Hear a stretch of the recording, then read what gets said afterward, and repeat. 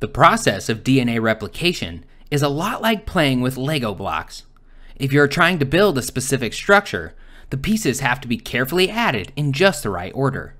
In this metaphor, your hands are like enzymes, carefully arranging and joining the Lego blocks, representing the nucleotides, in a specific order. This is the only way you can start with a pile of blocks and end with a functioning toy.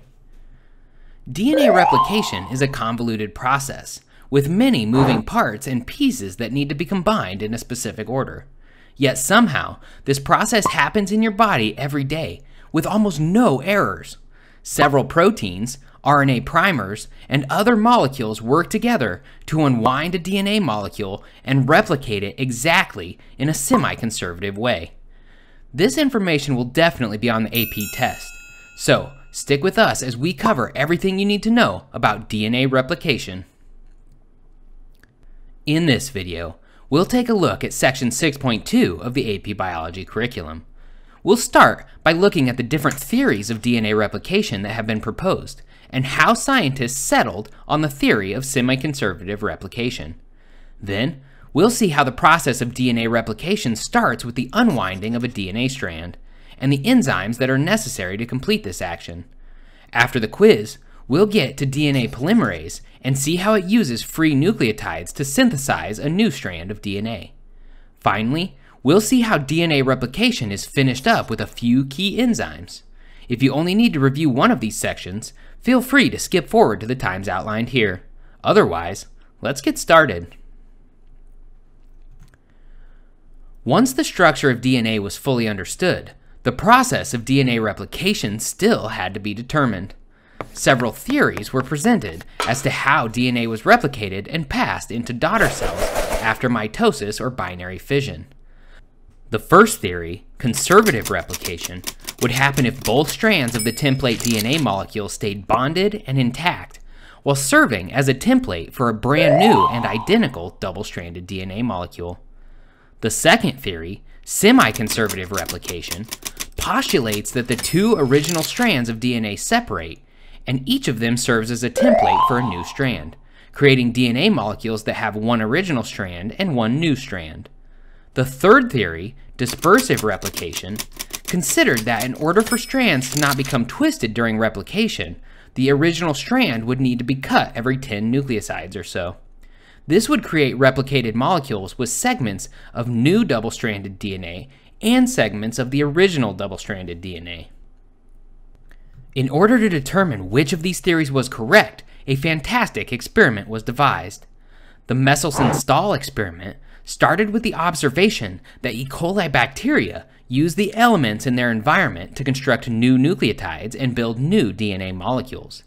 Thus, if you place these bacteria in a solution with normal nitrogen 14, the DNA will be slightly less dense than if you place the bacteria in a solution with the isotope nitrogen 15.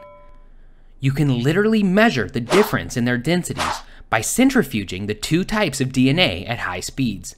The DNA with nitrogen 14 will appear higher in the centrifuge test tube than the DNA with nitrogen 15. So, the researchers started by growing E. coli in a solution with heavy nitrogen until all of the DNA in this colony was made from nitrogen 15. Then, this colony of bacteria was transferred to the growing medium that contained only nitrogen 14.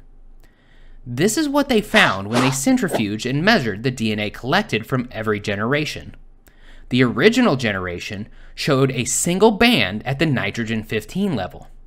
However, the first generation of bacteria showed a single band at an intermediate density between nitrogen 14 and nitrogen 15 levels. Since conservative replication would have produced two distinct strands, half of the DNA would have been heavy, while the new half would have been entirely light, this first generation eliminated the conservative hypothesis. But to determine which of the other two hypotheses were correct, researchers had to continue the experiment. When researchers allowed the bacteria to re reproduce a second time, they found two distinct bands, one entirely light and the other intermediate. Continuing for several more generations, the percentage of intermediate DNA slowly decreased until only nitrogen 14 DNA was left. Since the second generation had an entirely lightweight band of DNA, dispersive replication was also ruled out. Dispersive replication would have only ever produced one band that slowly became closer and closer to lightweight over time. Therefore, Meselson and Stahl were able to show conclusively that DNA replication is a semi-conservative process. Keep this in mind. Everything we are talking about in this video happens in milliseconds. DNA polymerase can add new nucleotides at the rate of 50 per second.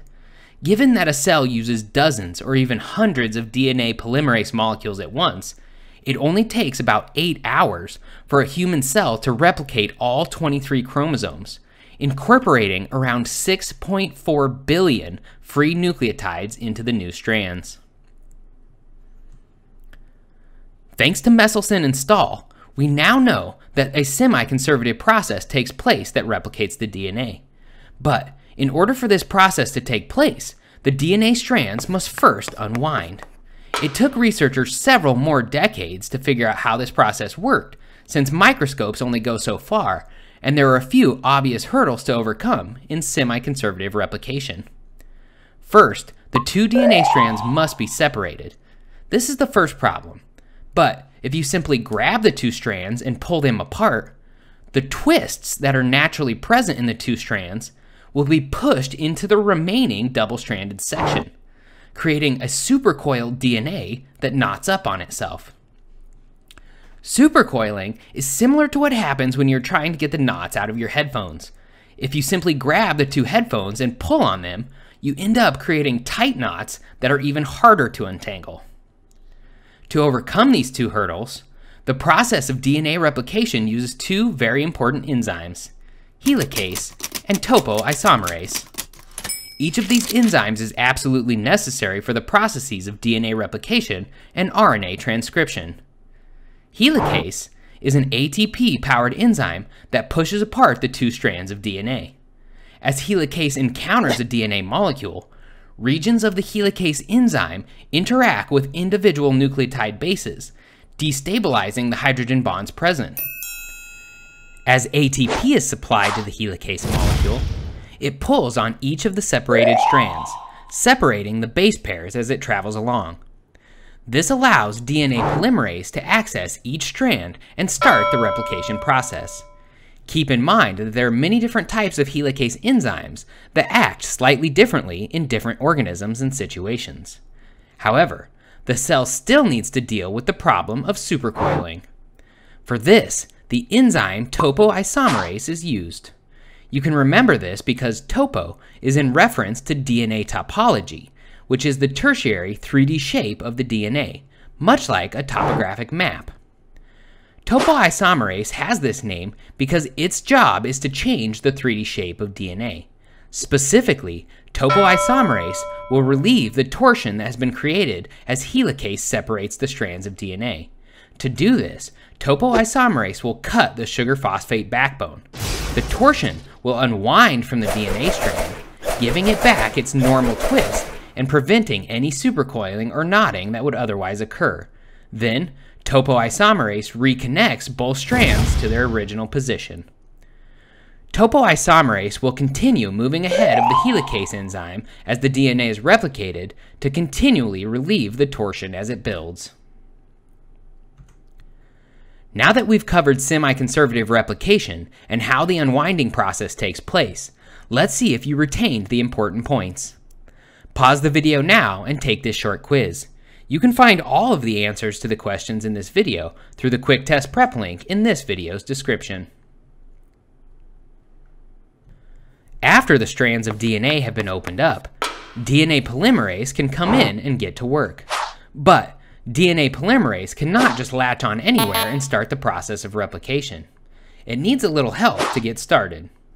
First, a protein called primase comes in and adds an RNA primer to the exposed template strand. This gives DNA polymerase an exposed 3' hydroxyl group that it can begin adding new nucleotides to. Using free nucleotides from the cytosol, DNA polymerase ensures base pairing occurs between the free nucleotide and the existing template.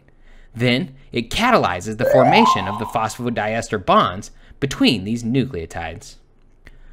The DNA polymerase can only add nucleotides in the 5' to 3' direction. In other words, the DNA polymerase can only catalyze the bond between the 3' hydroxyl group and the phosphate group attached to the 5' carbon of the new nucleotide. This creates a difference between the two different strands of DNA being replicated that is important to understand.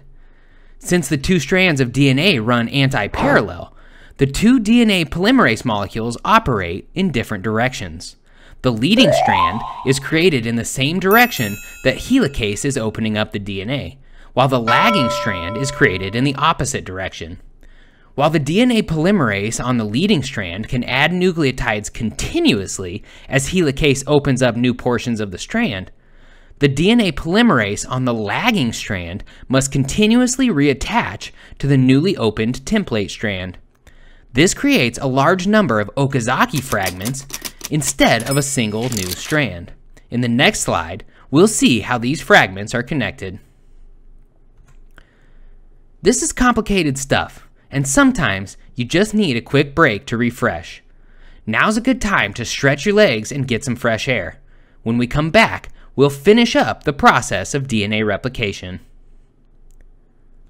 Now we're getting to the final steps in replication. You may have noticed that for DNA polymerase to attach to the DNA template, it needed an RNA primer to latch onto. These primers must be removed and filled in with DNA nucleotides for the process of DNA replication to be complete. To do this, another enzyme, called RNase, is needed to first break down the DNA primers. This leaves a small gap in the DNA strand that must be filled in. The final enzyme that carries out the process of filling in all of the gaps where RNA primers sat and fully connecting the newly synthesized DNA strand is ligase. Free-floating nucleotides in the cytosol fill in the gap by base pairing with the nucleotides on the template strand. Ligase works by using ATP to create the phosphodiester bonds that are needed to fully complete the sugar phosphate backbone. This leaves the new DNA molecule fully intact and fully completed. Keep in mind that the lagging strand will require the services of ligase much more than the leading strand, since each Okazaki fragment begins with an RNA primer. Each of these primers must be replaced, filled, and the backbone fully ligated by ligase. Also keep in mind that DNA ligase enzymes work in other situations as well, such as when scientists add foreign DNA to a plasmid to create recombinant DNA and fully bond the new pieces in place. You should also remember that many of the enzymes discussed in RNA replication are also used in RNA transcription. Now that we have covered the functions of DNA polymerase and ligase in the process of DNA replication, let's put it all together. Pause the video now and answer the following questions. You can find answers to all the questions in this video through the quick test prep link in this video's description. Be sure to check out the other links to all of the other study resources we have created specifically for this topic. Thanks for watching. Please like this video if you found it helpful and informative. If you still have questions about the process of DNA replication, please leave them for us in the comment section below. Be sure to subscribe to the Biology Dictionary YouTube channel to find all of our AP Biology videos and study resources. Good luck!